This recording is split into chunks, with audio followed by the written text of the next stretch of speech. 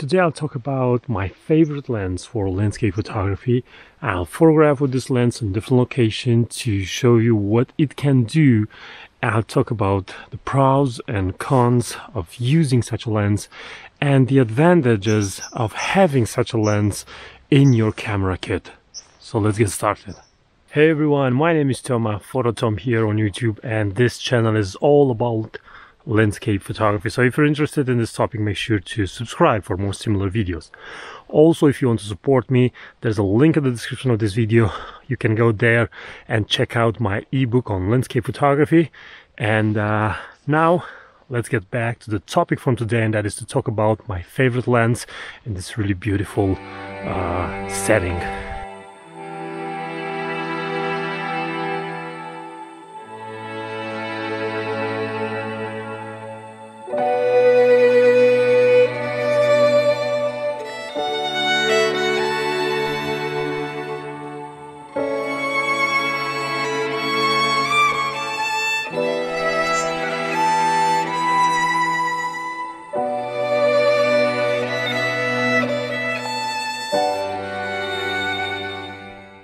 So one of the reasons I really like the 24 to 105 it's because it's so versatile. I can use it as a wide angle lens and also as a telephoto.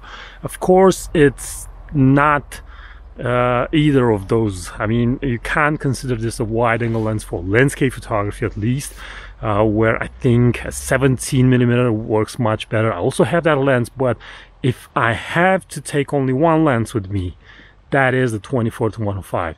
It's not that tele. It doesn't have that uh, a focal length that uh, that long, but combining that with the ability to switch my mirrorless Canon EOS R to um, crop to have a 1.6 multiplication factor, the 105 becomes a lot longer. So in terms of uh, of a telephoto lens, I think it's enough for the way I'm photographing. There are people that uh, photograph more with the 70 to 200, but I found out that over time I'm, I'm photographing less and less with that lens. So the 24 to 105, I think it's the perfect range of focal length for me. The lens I talk about is this one over here. It's the Canon 24 to 105 millimeters f4 IS L lens and let me also explain this first shot. So as you can see on my camera I have the water of the lake. I don't have uh, these vegetation elements over here and I don't capture the sky either. So I'm having the water and that yellow tree over there that pine tree and I'm waiting for the light to hit there. As you can see right over there the light is starting to hit that peak. So very soon it's gonna come down and uh, get in that area.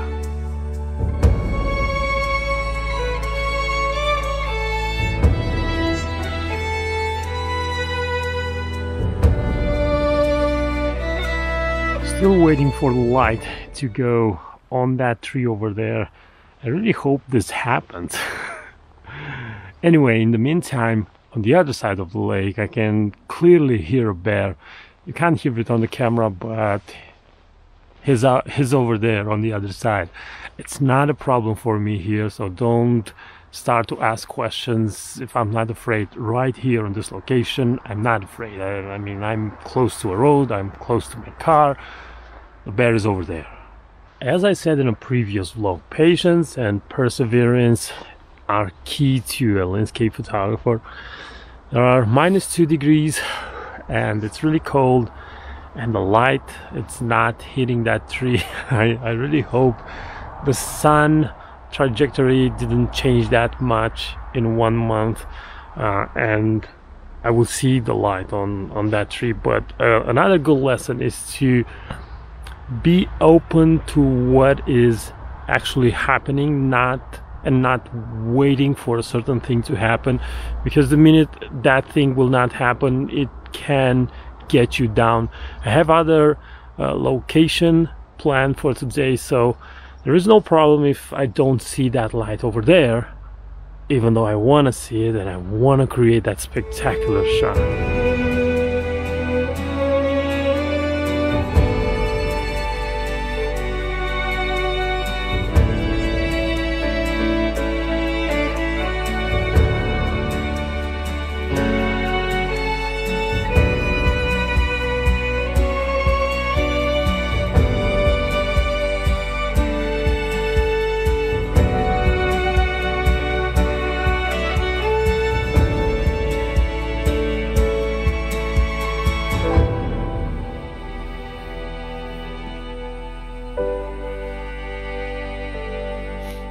while I was waiting for that light that it seems that will never come or I don't know when it's gonna come, I decided to take a few other shots. At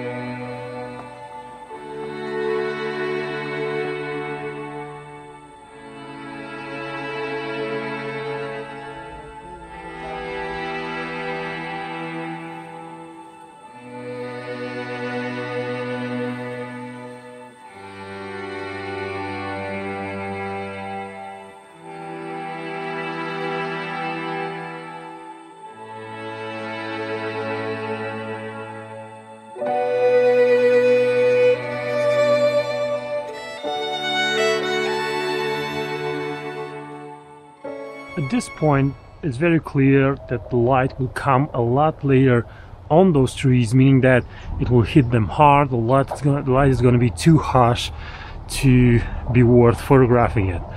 So, um, what I will do right now is change location and do another shot uh, because over here I used mostly the long end of this lens and it's time to have a wider shot.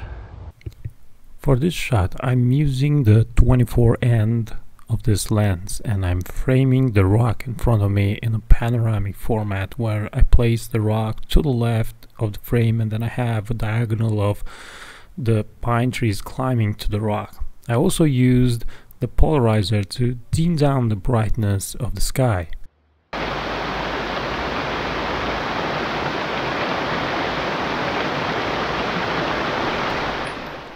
I changed location again and right now I really liked that tree in the background and I'm sitting really low and I already have two photos in my head.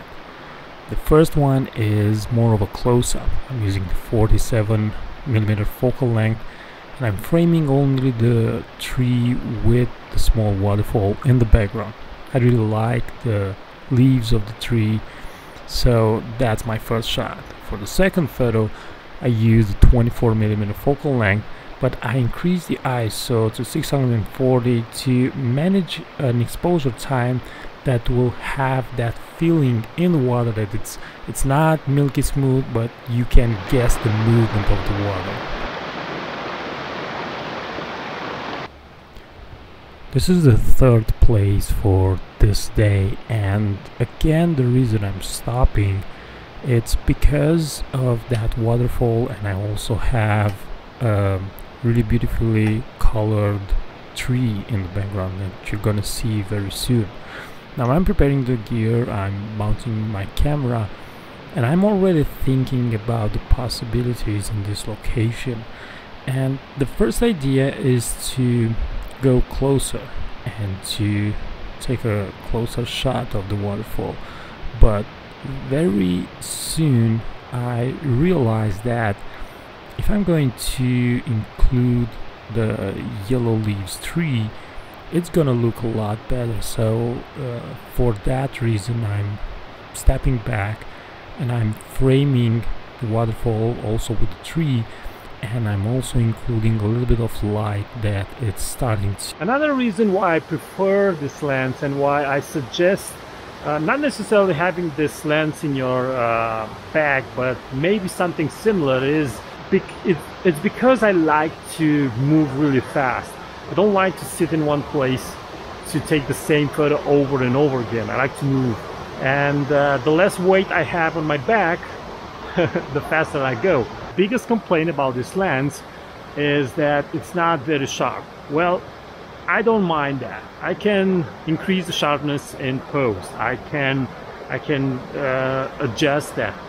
What I what I want is a lens that lets me photograph in the way that I want. That's far more important for me than just a little bit of sharpness. Not always as a landscape photographer you're going out there to take the best shots of your life uh, oftentimes you take crappy photos because the light is not what what you would want it to be. But this this is the charm. This is the this is the beauty of landscape photography. I'm already seeing some light over there. So this time this time I'm gonna catch it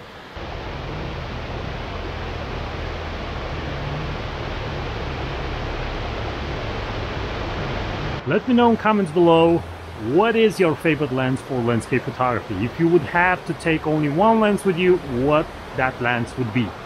Now don't forget about my ebook. If you want to support me the link is in the description of this video.